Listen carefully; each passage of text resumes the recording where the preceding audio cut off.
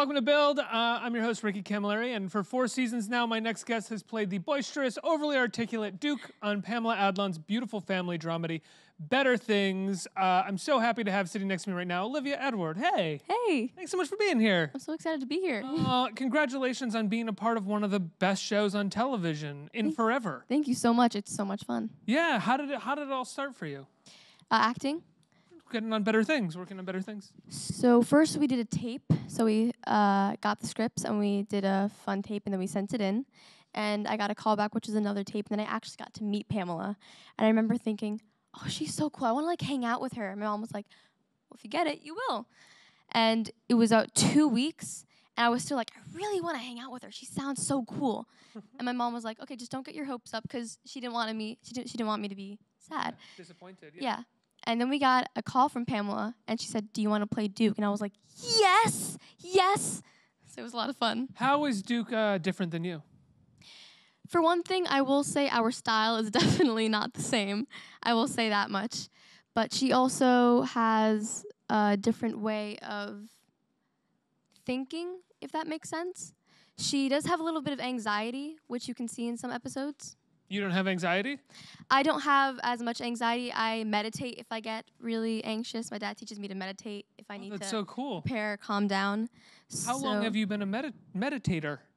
Uh, for pretty pretty much most of my life. My dad taught me since I was really young. If I ever, well, I'm still young, but Yeah. since younger, if I was ever really nervous about something, to just meditate. So it's great for when I'm shooting or having interviews like this. Take a beat, relax. Take a beat, relax, Breathe. breathe.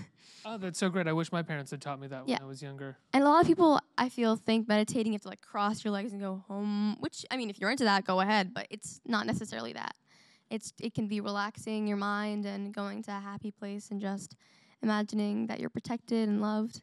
Finding a space to center yourself and sort of shut everything off, shut the noise off a little bit. Exactly. Yeah. So now you are four seasons in. You're on your fourth season of playing Duke. How has she changed over the course of the show, uh, and how have you been along for that? How has it felt like to? How's what has it felt like to change with a character? it's it, it kind of feels like two lives. And since I'm growing as Duke's growing, every single season I have to tackle her with a new perspective. So whenever I hear we're getting picked up for another season, I'm like, oh, I can't wait for the scripts. I can't wait for the scripts. and I'm like, I'm waiting. They're like, here are the scripts. I'm like, oh yes, and I like go through them. And there's always a moment where I go, oh, where I see something that Duke d- does, and I always have like an oh moment because it's something that I haven't seen her do before. What's been the hardest thing that Duke has done? The hardest thing that Duke has done. Well, I will say that some of the relationships with Duke and her sisters can go on and off. So, in one episode, Duke can have a great relationship with her sister. They can be happy together. And another one, they can be like screaming at each other. So, I feel like that's one thing that's been kind of hard going from like really hating the sisters to being in a good place with them. How do you guys navigate that? You and the other actresses playing the sisters. I mean, it's a lot of fun. We are like another family, so there's nothing embarrassing between us. So we rehearse the lines. A lot of times we try a different try a different few takes and a different few ways to do it. So that's usually how we find the one the one scene. Um, you just said that there's a. It, it feels like a family. There is a very intimate way that it's shot, and it really does feel like you are watching a family, like a real family at times. How did you guys create that, and did it feel like that immediately when you first started shooting the show? Yeah, we kind of just clicked when we all met. It really did feel like we were all sisters. And the show is very raw and very real. So I feel like that's why a lot of people can relate to it. And what has it been like working with Pamela? Have you become friends? Do you hang out now? Yeah. Yes. Yeah. Yes. We do hang out now. She is such a fun time. Sh I always say she's like a superhero. I mean, she stars, she directs, she write, she writes, she produces. I don't know how she does it all, but just to watch her work and to have her like a mentor, it's incredible. And I'm learning from all the women: Celia, Imrie, Rebecca Metz, Alysia Reiner. Like she, they're all incredible women. Yeah. Um, at the end of the first episode of this season, you deliver a beautiful monologue to a recently broken-hearted adult man. Uh, what was it like delivering a monologue like that? It is so wise, and I don't think any adult would even say those things.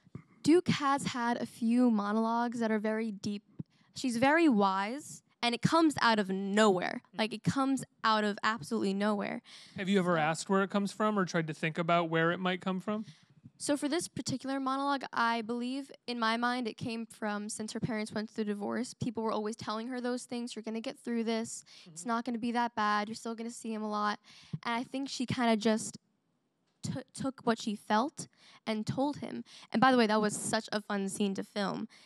Uh, everyone was kind of everyone was crying. It was so much fun.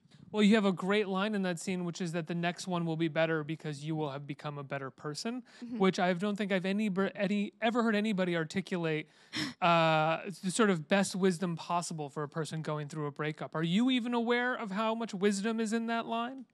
I when I get the scripts, if there's any anything that's ever very deep, like it's a very deep line, I read through it a lot of times. I'm like, oh, okay, all right. And then I try diff- a few different ways, and I sometimes go up to Pamela and say, hey, so what do you mean by this line? Like, what is she saying? And sometimes she'll say, well, she means that with the more experience you get, that that's more experience, or whatever the line is. Do you find that because Pamela Adlon has three daughters as well, right, in real life, Mhm. that she's uh, often writing to your strengths, or she's writing things that her daughters have done? And, and, and have you met her daughters?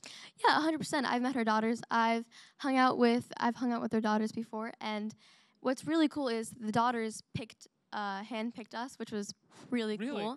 Yeah, it was really cool to meet Rocky, uh, the girl that daughter I play, and that Duke is based off of? mhm. Wow, she handpicked you. yeah, yeah, What did that feel like to meet somebody who cho- who chose you like that? it was so cool. I was like, "Hi, I get to play you. I'm so happy." I was I was that that was the first time I met her. I was so happy. Do you feel like you and Rocky are similar, and that's why she picked you, or are We- you different people? Uh, we are really similar in, to certain extents. We are really similar. In what way? Uh, for one thing, we're both very creative, and when we when we hang out, we kind of just click. If that makes sense. Yeah. So uh, at the beginning of this, I asked how you started, and I meant the show, but I am curious, how did you start acting? It's a very fun story. so I was about two or three, and I was in my parents' room, and a Gap Kids commercial came on, and my dad walked into into the room and said, and I said, "Why am I not there?" And he was like, "Why are you not where?" And I pointed at the TV. I was like, "There." And he's like, "You mean playing with the kids?" And I was like, "No. Why am I not like there? Like I like I want to be there." And he was like, "Good question." And that's just kind of how it all started. And they and they kind of knew from a pretty um, young age that I was going to want to be very creative because I would just sing these hour songs of gibberish around the house that no one understood. You're very performative. Yes. Are you still very performative in private now that you actually perform for, for work as well? Yeah, 100%. I, I still love to sing and dance, and it's fun to uh, create new things while being on the show. Where uh, do you hope Duke goes next? I hope that Duke continues to experience all of life's wonders. She's so wise, and I think ever since every s- season we see a different side of her, I can't wait to see which side I see next. You know, it's rare that a, a character that is your age um, is portrayed with such depth and is written with such depth. What is it like to sort of give life to a person your age on screen? What do you mean by that? Well, I mean that uh, usually it's one dimensional, it's a family show. It's rare that they're suffering from anxiety, like you're talking about. What is it like to sort of represent people your age in a, in a way that has more depth? It does make me work on Duke's character and think about Duke as a whole more because to at first look she's you know she's the baby. That's what you saw in season one. Most people thought oh she's a baby. She sticks up for her mom. But you start to learn oh she's intuitive. She's wise. She has fun relationships with her sisters. She can sometimes be very anxious as you see her go many times with her mom. Where did that come from, the, the thing? that's something that Pamela just does. That's something Pamela does, and then we added it into the script. And I was like, oh, this is cool, and it kind of just became a toy, toy, toy. became your own uh your own the own your own thing that Superstition, yeah. yeah you know one of my favorite episodes of the uh of the show entirely is the funeral episode where they stage a funeral for Pamela Oh, yeah, Adlon's character um so beautiful what was it like doing that episode It was insanely fun. yeah The light, just to say, the lighting in that room was kind of set the tone for the entire scene. And it was another one of those scenes where everyone was kind of like really sad and really into it. And then at the end, because they said just lie down at the very last moment, pop up, and just say, nobody said anything about me. I'm laying here dead and nobody cares. And it was, and then the actu- actually the end of that scene was all improv, Really? where they all come over and they all go around Duke. That was all improv, and it was so much fun. Do you get to improvise a lot on the show? 100% Pam- uh, percent. Pamela likes to keep it very real and raw and relatable and pure. So there are certain scenes where she won't tell us what will happen. She's done that in the past. And then there are other scenes where she just wants to get our pure reaction. She, does, she doesn't want something that's over rehearsed. So what is that like? Were you used to that? Were you comfortable with that immediately improvising? I am a very big fan of improv because it gets what's natural and it gets a pure reaction. And that's exactly what Pamela's going for. Right. Um, well, uh, I love the show, Olivia, and I think you do amazing work on it. I think everybody does. It's on FX. What night is it on FX? Thursday nights at 10. Thursday nights at 10. Uh, Olivia, it's been so nice talking to you. Thank you so much for being here. Thank you so mu- Congratulations. Thank you so much. yeah, we'll do uh, fist, uh, elbow there we bump. There we go. Oh.